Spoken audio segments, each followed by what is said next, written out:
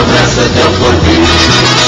Se uma outrora tu fostes, a semente modesta e feliz. Hoje és capital por trabalho e orgulho do nosso país. Salve, salve,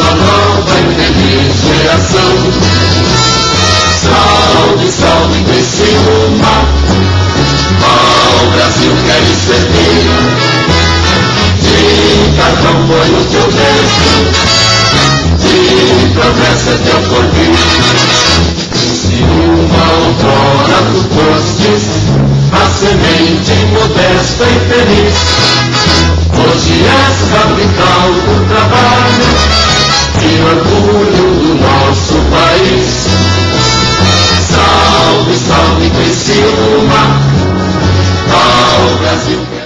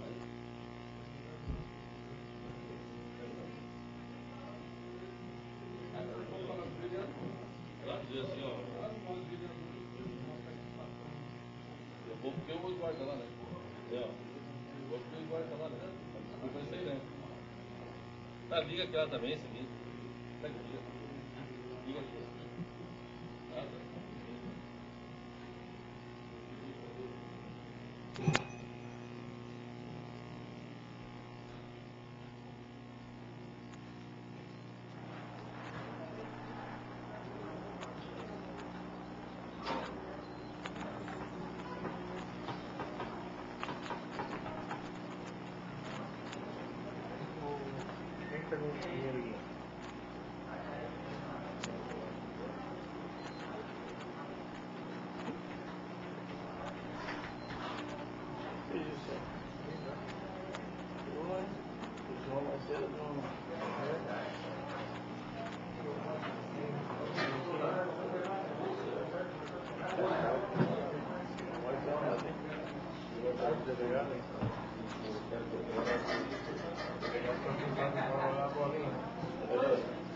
Primeira pau? Começar. Começar.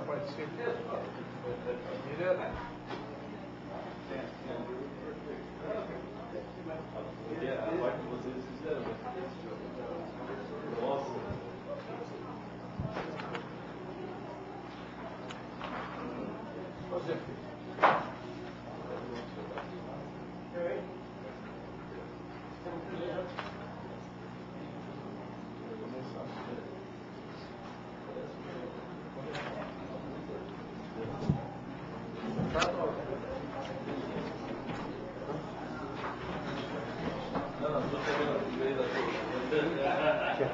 Quel est l'apport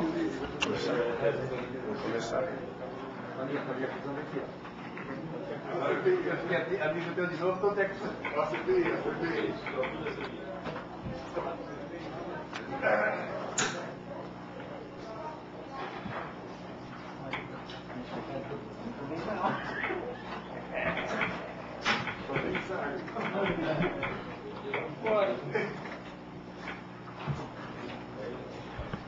Havendo coro regimental e sobre a proteção de Deus, iniciamos os trabalhos da presente sessão. Solicito ao senhor secretário para que faça a leitura da Bíblia. Salmo 32. Bem-aventurado aquele cuja iniquid- iniquidade é perdoada, cujo pecado é coberto.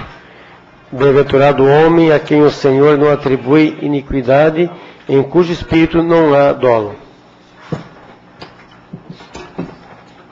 Solicito agora para que faça a leitura do expediente. Sessão no dia 27 de setembro de 2011. Requerimento 180-2011, da autoria do vereador Ivan Alberto Westphal.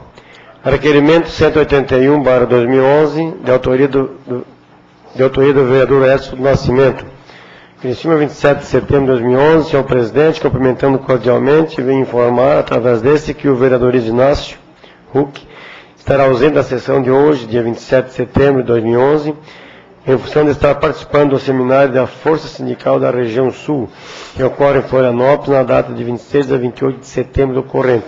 Segue anexo o convite e a programação. Não oportuno aos meus protestos de consideração e distinto apreço, atenciosamente, Júnior Matos, assessor parlamentar. Terminado o expediente, passamos para o horário político.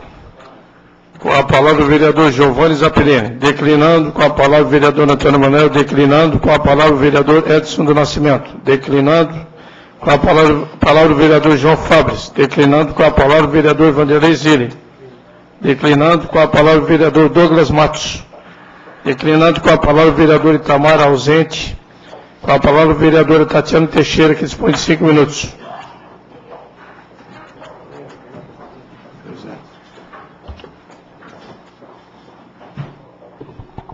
Senhor presidente, colegas vereadores, vereadora Romana Remor, todo o público que nos acompanha, gostaria de cumprimentar especialmente o suplente de vereador, James da Silva. Né, James, seja bem-vindo. Em seu nome, cumprimentar todos os presentes nessa sessão legislativa. Bom, senhor presidente, eu não poderia né, deixar de subir nessa tribuna para fazer um registro muito importante. Hoje é o dia de incentivo de doação de órgãos. E eu falo isso, vereador Edinho, com bastante propriedade, e, e, e, dou o devido valor da data, que é uma data de reflexão, né, vereador Zilli? Porque eu vivenciei isso dentro da minha família. Né? No ano de 1998, agosto de 1998, meu pai teve um diagnóstico de insuficiência renal crônica, vereador Douglas, né, onde o rim dele não trabalhava. E aí o pai, a partir de 1998, ele começou a realizar sessões de hemodiálise. Eram três sessões semanais, quatro horas por sessão, né, na máquina mesmo, onde todo o sangue dele passava pela máquina. Todo aquele processo, né, que quem vivencia sabe a dificuldade que é, né, o tratamento bastante complicado. Uh, mas apesar disso, ele não deixava de dar aula no colegião e não deixava de vir nas sessões aqui na Câmara, vereador Gélis. Ele sempre muito guerreiro, né, muito, muito batalhador. E, e, o pai resistia muito para receber o rim. Ele não queria receber um rim porque ele achava que era complicado ele tirar um órgão de uma outra pessoa que de repente lá na frente poderia fazer falta e ele não aceitava, sabe? Sim, aquela teimosia, né? Do Valmir Teixeira que todo mundo conhece. E ele, e ele tinha uma grande resistência de aceitar. Até que ele ficou durante três anos e meio fazendo as sessões de hemodiálise. E um certo dia um médico disse, olha, Onei, esse é o momento de tu fazer o transplante, porque por enquanto tua saúde está legal, tu tu, tu tenha diabetes controlada, colesterol controlado, todas as tuas questões é, de saúde é, é saudável. A única questão é a tua insuficiência renal crônica. E aí foi onde a gente fez uma reunião de família.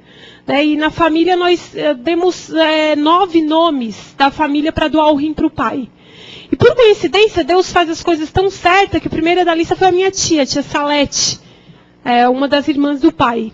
E a tia Salete foi lá, fez o primeiro exame, vereador Zilli, fez o segundo exame, porque é, é feita uma bateria muito completa de exames para ver se o, o, órgão é compatível, se tudo né, não vai dar rejeição.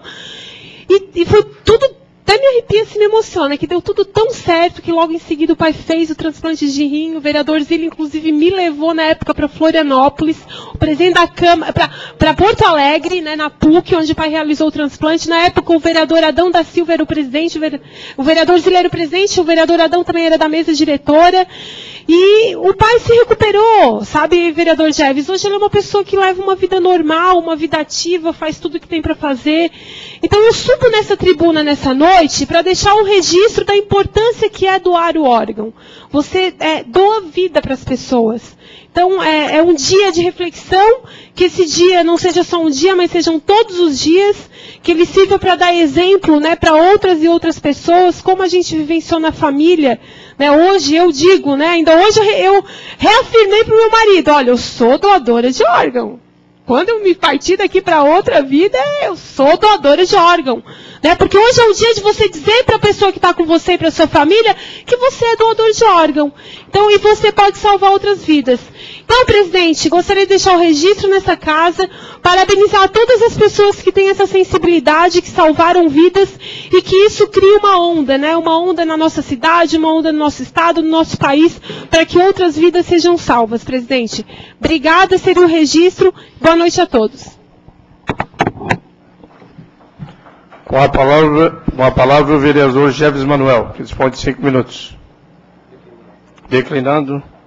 Com a palavra o vereador Ivan Roberto Vespal. Declinando com a palavra a vereadora Romana Remor, que dispõe de cinco minutos.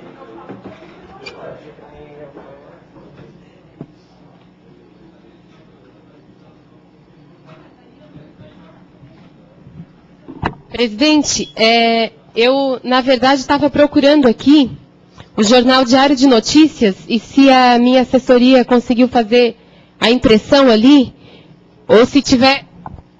Como é que é? Outro microfone? Tá. Obrigada.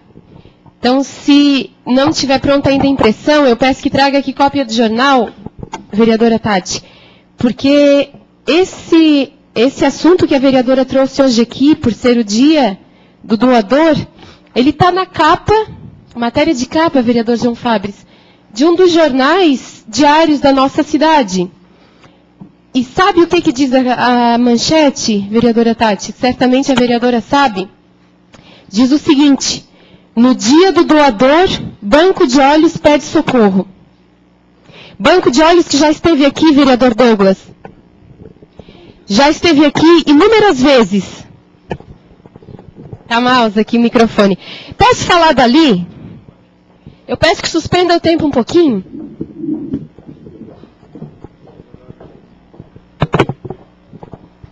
Banco de Olhos, presidente, que já esteve nessa casa inúmeras vezes, trazido por alguns vereadores, outras vezes por iniciativa própria, mas todas as vezes, vereador Douglas, pedindo socorro pelo trabalho extraordinário que eles realizam. E eu lembro que uma das últimas vezes o Almir esteve aqui emocionado e trouxe o relato, presidente, do número de transplantes que deixou de acontecer.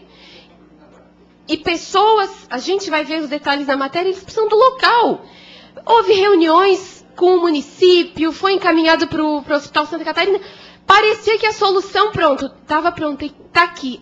Mais de um ano passado, desde a primeira vez que eles vieram aqui, nós vamos terminar a legislatura e será que nós vamos continuar com esse problema absurdo. Nós temos aqui pessoas que conseguem fazer esse procedimento, que se dispõem a fazer esse procedimento. Nós temos experiências muito positivas, muito positivas de casos onde houve o transplante de córneas e a capacidade de visão de pessoas foram restauradas em função disso? Tudo a parte verdade.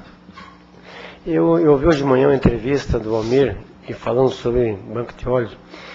Em Criciúma, a fila é de 50 pessoas aguardando. Se tivesse aqui instalado o banco de óleo, praticamente essa fila já tinha desaparecido aqui em Criciúma.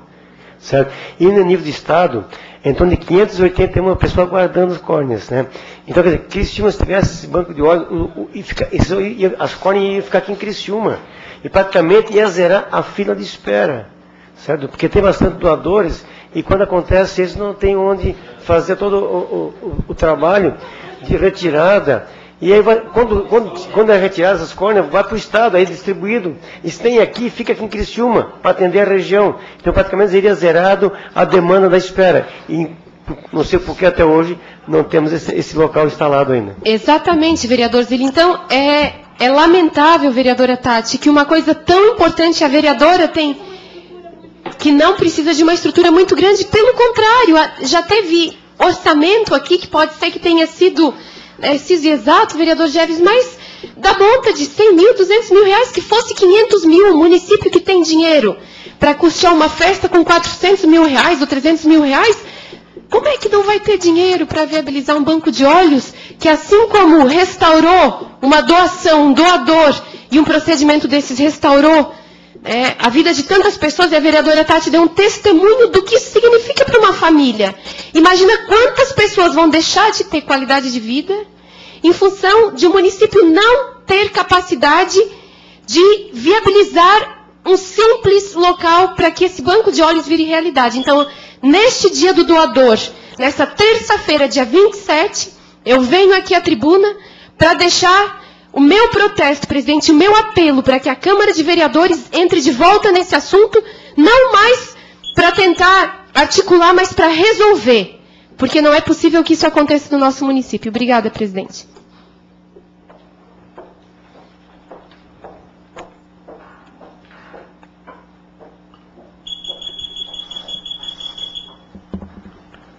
Terminado o horário político, passamos para o grande expediente.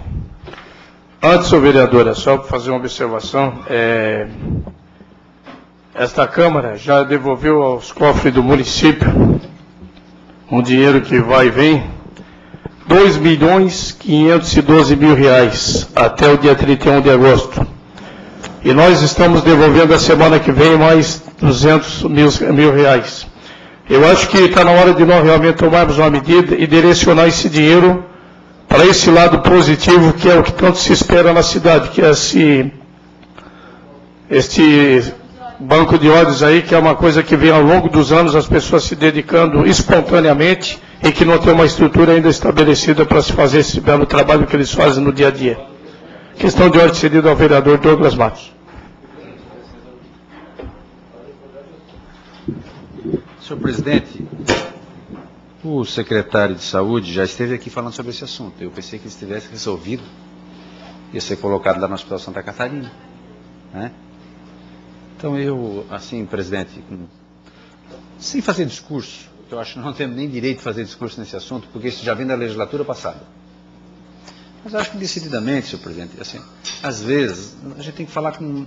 Estou falando dos 12 vereadores, com mais autoridade e colocar certas condições na mesa. Condições na mesa.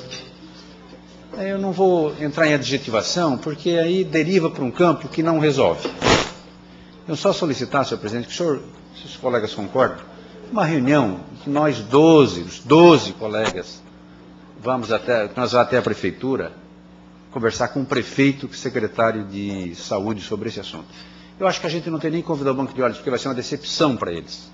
Se nós saímos lá, sem uma solução. Primeiro lá resolver e depois comunicar. É, eu acho que 12 vereadores pedindo para o prefeito uma solução dessa natureza, é, e pedir prazos, condições para resolver esse assunto. Não, eu, não, eu, não, vou nem tratar isso como oposição ao governo, não quero levar para esse lado, porque depois acaba não, tudo errado. Então, assim, esquecendo a questão político-partidária, solicitar ao senhor institucionalmente como presidente da Câmara, né, porque é a instituição que vai pedir, uma audiência, nós vamos lá tratar desse assunto, sem comunicar ninguém, em paz, em calma, para que a gente possa sair de lá com uma solução, quem sabe, para as cidades. Porque, senhor presidente, eu já eu tive pessoas cegas na minha família. É um sofrimento que só quem passou sabe. E se a solução está aí na, na, na vida da, da, sociedade de Criciúma, poxa vida. Não faz, não tem, não tem palavras, eu não tenho palavras para falar sobre isso. Senhor, questão, questão de, questão de ordem cedida ao vereador do, Ivan Roberto Vespal.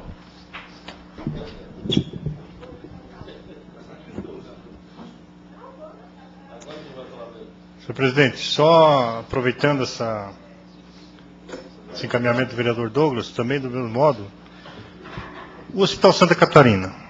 Há quantas anda né, a discussão do Hospital Santa Catarina?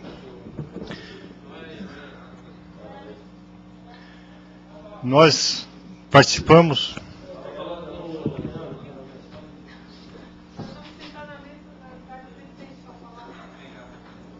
Senhor presidente, é, o vereador Zilli e eu participando de uma reunião, que fizemos parte daquela comissão de acompanhamento do Hospital Santa Catarina, e da última reunião para cá, né, que havia sido encaminhado pela, pelo Passo Municipal, pela Prefeitura, aquele processo é, das obras do Hospital Santa Catarina. E já faz um bom tempo que isso, pelo menos, deveria ter sido encaminhado, só que a comissão não foi mais chamada. Então eu penso que na mesma linha do vereador Douglas em relação ao banco de olhos também, que a proposta é que seja lá no Hospital Santa Catarina, é, a gente cobre essa questão porque parece que está tudo resolvido. Parece que está tudo resolvido as coisas e é, o senhor fala aqui em devolver dinheiro ao município, 200 mil, e hoje está gastando 400 mil é, num evento. Então, isso precisa ser melhor discutido. Obrigado, senhor presidente. Solicito ao senhor. Solicito. Solicito ao senhor secretário. Solicito ao senhor secretário para que faça a leitura das matérias.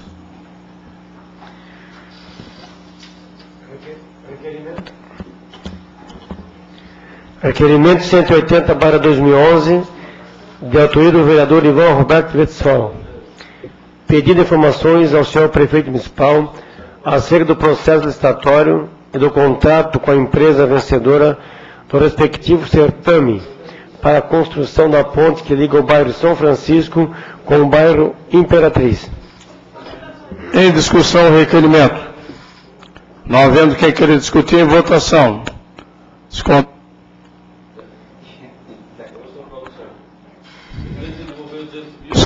os contrários se manifestem. Aprovado por unanimidade. Requerimento. Requerimento. Requerimento. Requerimento 180 181 barra 2011.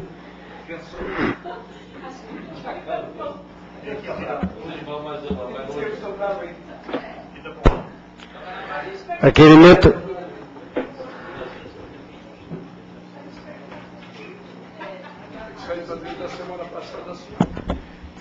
Requerimento 181 barra 2011, de autoria do vereador Edson Nascimento. Envio do expediente ao senhor Gilmar Margotti, supervisor da estação de rodoviária Tereza Cristina, solicitando providência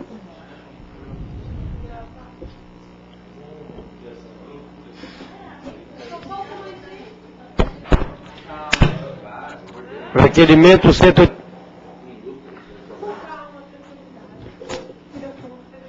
Não, tranquilo. Requerimento 181, barra 2011, de autoria do vereador- Edson Nascimento. Envio do expediente ao senhor Gilmar Margotti, supervisor da estação da rodoviária Tereza Cristina, dessa ferroviária. Tereza Cristina, solicitando providência para que o trem não mais realize manobras na estrada de ferro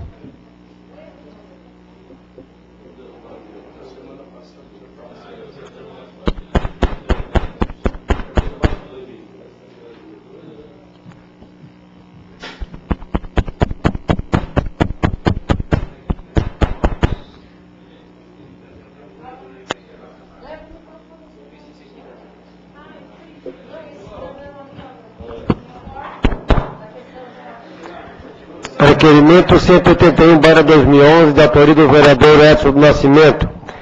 Envio do expediente ao senhor...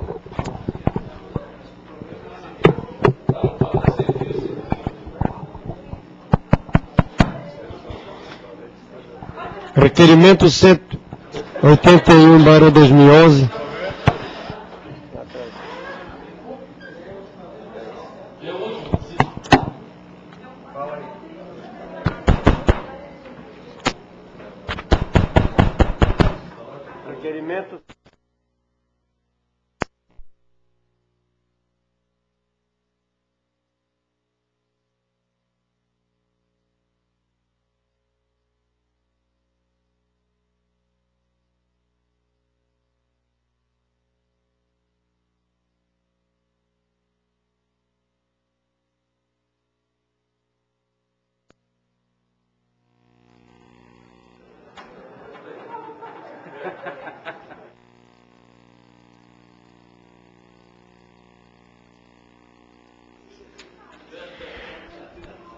requerimento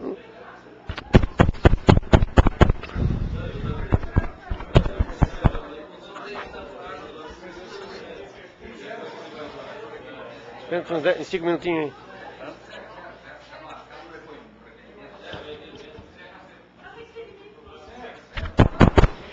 Requerimento 181, barra 2011, da autoria do vereador Edson Nascimento. Envio do expediente ao senhor Gilmar Margotes, supervisor da estação ferroviária Tereza Cristina, solicitando providências para que o trem não mais realize manobras na estrada de ferro que corta a Avenida Centenário, trecho Pinheirinho, no horário compreendido entre as 18 e 19 15 horas. Haja vista o grande movimento de veículos neste horário. Em, em discussão. Em, em discussão requerimento. Não havendo que, quem queira discutir em votação, os contrários se manifestam.